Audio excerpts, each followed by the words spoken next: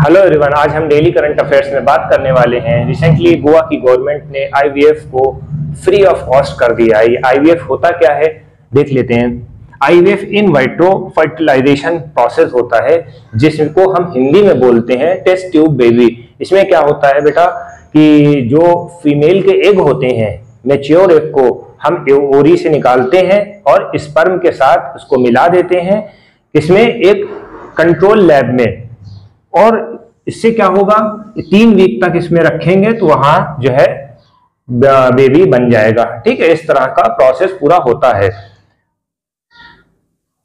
अब देखिए, ये क्यों फ्री ऑफ़ कॉस्ट कर दिया है?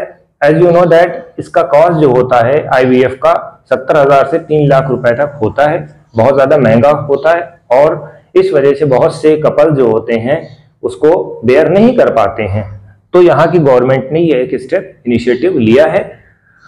और जो डेटा आया है, इसमें बताया गया है कि ढाई लाख से तीन लाख लोग जो है अभी भी इनफर्टाइल हैं। तो इससे क्या होगा कि उन लोगों को भी थोड़ी सी सहूलियत होगी। Thank you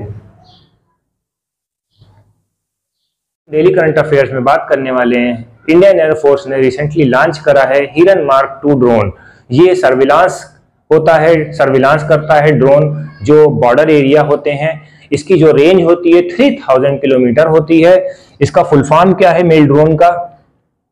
medium altitude long endurance ठीक है? ये हिरन मार्क वन का अपडेटेड वर्जन है। हिरन मार्क वन को 2009 में लॉन्च करा था, ठीक है? और ये हमारा करंट अफेयर्स का टॉपिक था। ये अब बात करने वाले हैं स्टैटिक अवेयरनेस की। एयर चीफ मार्शल कौन है? विवेक राम चौधरी है।